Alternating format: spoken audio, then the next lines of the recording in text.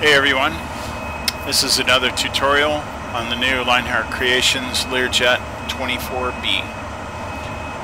On this tutorial we're going to talk about the fuel system and how to transfer fuel from the fuselage to the fuel wing tanks. First off, to let you know, some might be wondering when they get the plane, where is the fuel selector? There is no fuel selector. The um, engines ran off the wing tanks.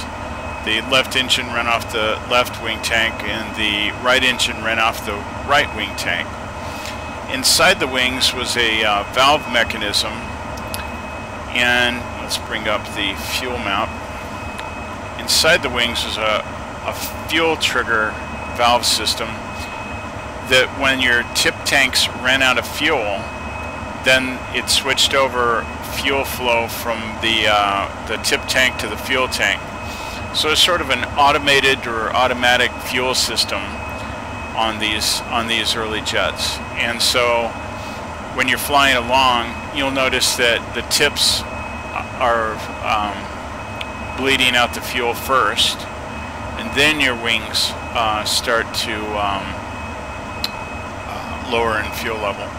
So that's how the fuel system basically works. And then you have some backup auxiliary tanks, which in this flight simulator model is treated as one fuel cell. So you have an auxiliary fuel cell located in the back of the fuselage, back behind the passenger's um, compartment. And when your wings are low in fuel, then you would pump the um, fuel out of the fuselage into the wings via the um, the transfer pump. So let's go ahead and show you the uh, fuel management panel. Let's see. Basically, you have the uh, jet pumps. You have your auxiliary pumps. You'll hardly ever use these. Then you have the transfer pump switch and then cross flow switch. Then you also have fuel jettison pumps, and this is how you would um, you would jettison fuel. And the main reason that you would jettison fuel is that the uh, early Lears, the um, weight on the wings from the um, these fuel tanks, they're about 1,100, 1,200 pounds of fuel out there on the wingtips. And if you landed hard on the runway, you bent the spar in your wings. You would you would severely damage the airframe. So what you had to do was purge the fuel out of those tanks. And it would be done like this. And as you can see, it's purging the fuel. Shut those back off. And that's how that's done. This dial right here, this shows you each tank's um, amount of pounds of fuel that's left in it.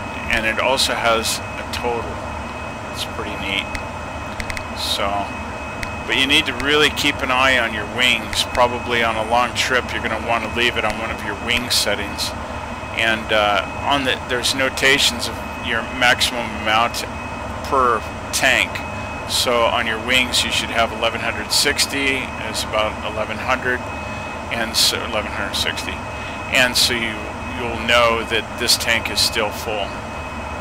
Now, speaking of full, on your center tank, the only way to know if it's full or empty, like if you're emptying it, if you're dumping it into, if you're transferring it into the wings, this light will turn off and this light will eventually turn on when the fuselage tank is empty.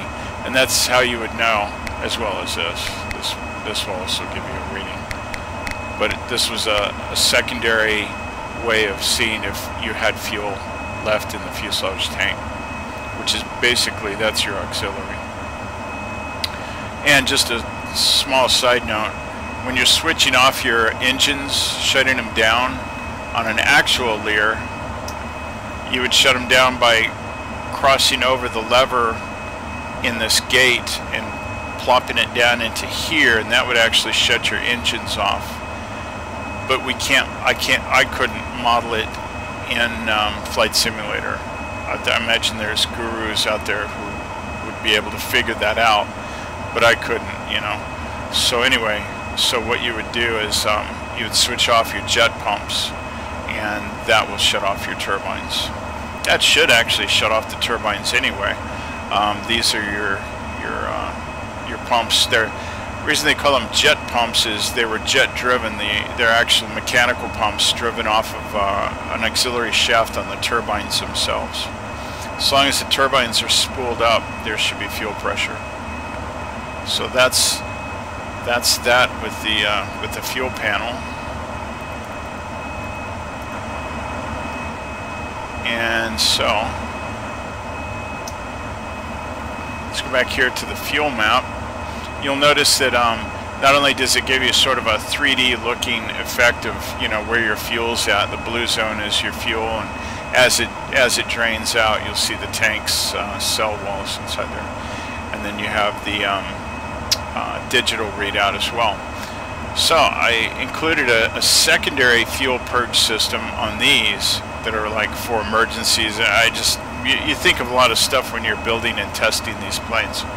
And so anyway, if you tap on the wing, I ended up keeping this. If you tap on the, uh, the tip tanks, um, you can actually drain the, the fuel out fast. Now, there's, that's pretty fast, eh? You tap it again and that stops the, the fuel purge. Now if I were to jettison the fuel all the way out, whether it's with a fuel map or with these dump switches, I can starve an engine because the flight simulator code can't move faster than the fuel is dumping. Doesn't have the ability to switch over the fuel selectors, the invisible fuel selector mechanism doesn't have time to switch that over to the wings fast enough to keep the engines from stalling. So, when you're purging your fuel on the Learjet 24B, do not dump the fuel all the way out. Leave some in there. Just like that. Once these are, are drained out, then the automatic uh, valve system will kick into the wings. Now you'll notice that I've got a imbalance of uh, 35 pounds and 11 pounds.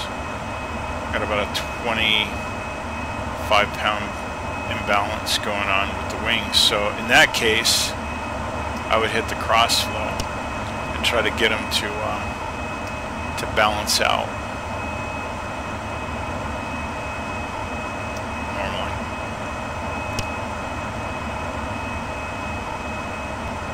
The engines have begun uh, drinking from the uh, wing tanks. Next, let me show you how to do a fuel transfer. Alright, so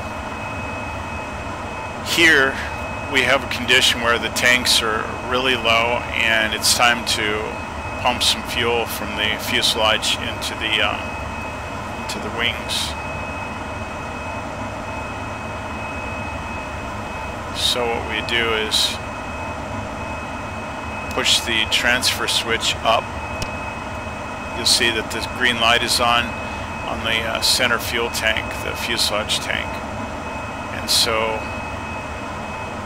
that means that it's still full, close to full. Okay, now it's out. And if we go over here to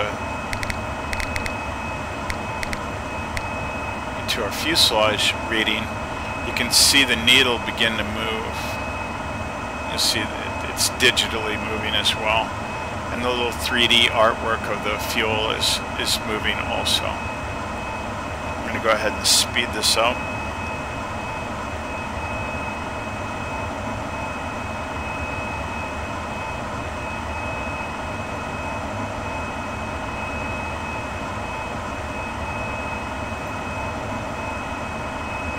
That's the power of Prepar3D is you can go up to 120 plus times in your um, fast forward. Whereas in uh, Flight Simulator X, when you're in autopilot, you can only go 16, 16 speed. It's 120 plus speed and it's stable. It doesn't doesn't go up and down on you like it does in Flight Simulator X. Anyway, that's how you uh, you manage your fuel. That's uh, that's a fuel transfer mini tutorial and sort of a walkthrough on the fuel system of the Lear 24B. It's pretty easy. You know, you just have your, your basic jet pumps, your backup pumps, transfer switch, cross flow, your two um, purge jettison switches, and your uh, fuel gauge. That's it. Hope it makes sense to you and have fun and hope you didn't spend too much time looking for a fuel selector. Take care and happy flying.